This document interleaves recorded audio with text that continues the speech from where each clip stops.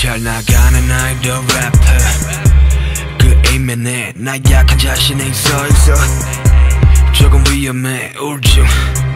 강박대대로 다시금 도주 Hell no.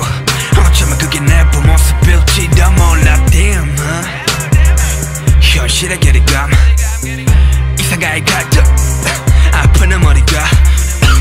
den기피증이 생겨버린 게 살쯤 그래 그때쯤 내 정신은 점점 모여대 가끔씩 나도 내가 무서워. 자기 혐오와 다시 놀러 와버린 우울증 덕분에 이미 민연기는 죽었어. 죽은 여자가 난가 비교하는 게 나의 일상이 돼버린 지 오래 정신깔 처음 간다.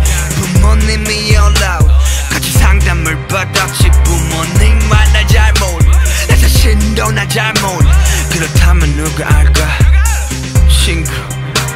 I don't know 그 누구도 날잘 몰라 의사 선생님이 내게 물었어. 내게 물었어.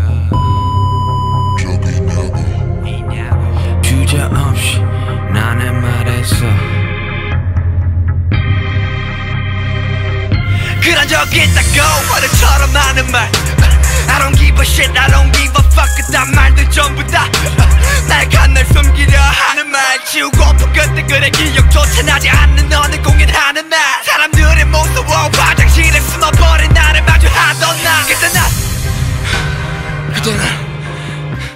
성공이 다 보상할 줄 알았지. 근데 말해. 근데 말해.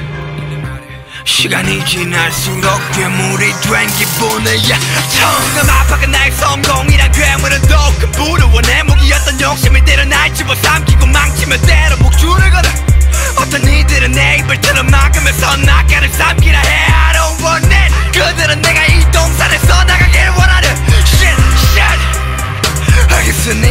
깔끔하네. 이 모든 일들의 근원은 아니까 나 스스로 그만둘게. 내 불행이 니들의 행복이라면 기꺼이 불행해줄게. 증오의 대상이 나라면 기어틴에 올라서줄게.